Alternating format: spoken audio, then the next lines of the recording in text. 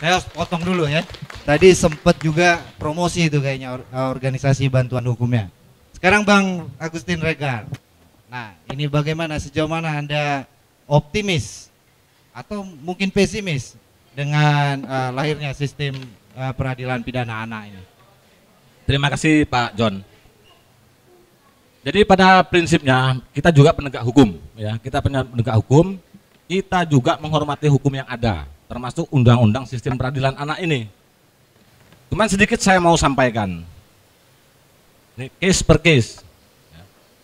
Seorang ibu itu di rumah dari anaknya kecil, dia sudah mungkin sudah menyampaikan sesuatu bahwa andai kata contoh yang namanya pisau itu kalau ditusukkan mengakibatkan luka. Ya.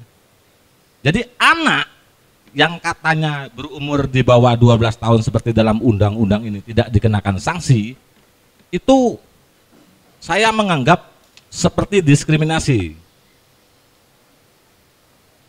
Seorang pelaku anak seolah-olah dilindungi oleh undang-undang itu. Padahal dia tahu, dia tahu dari rumah aja dia tahu dapat eh, bimbingan dari orang dari orang tua. Contohnya pisau tadi. Pisau itu kalau dihujam itu akan melukai.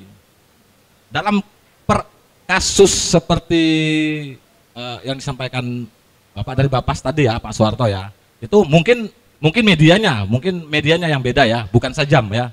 Itu. Tapi jelas, jelas anak itu tahu kalau yang namanya batang kayu atau tali itu dijeratkan leher itu mengakibatkan cedera minimal. Ya. Tapi hanya undang-undang ini, mereka kesem- punya kesempatan, punya kesempatan. Itu dalam tanda kutip seolah-olah ya, seolah-olah undang-undang itu melindungi kejahatannya. Tapi kita juga penegak hukum kita menghormati itu undang-undang.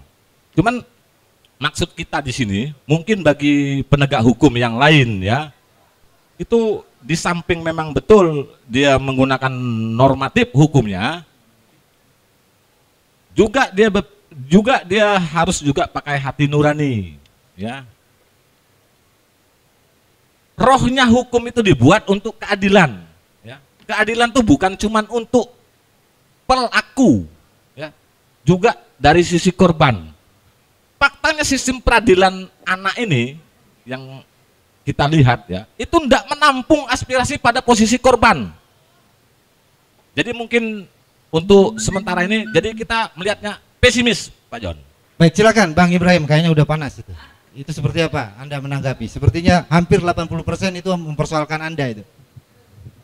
Eh, sebenarnya dalam sistem peradilan pidana anak ini saya bukan satu sisi mendukung apa undang-undang ya. Memang undang-undang ini ada kelemahannya, Pak. Di dalam Undang-Undang Nomor 3 Tahun 1997 tentang Pengadilan Anak itu korban tidak akomo- diakomodir. Ya kan?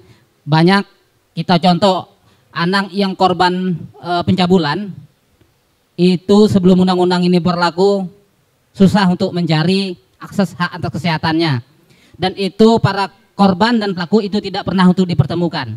Nah, sekarang di Undang-Undang Sistem Peradilan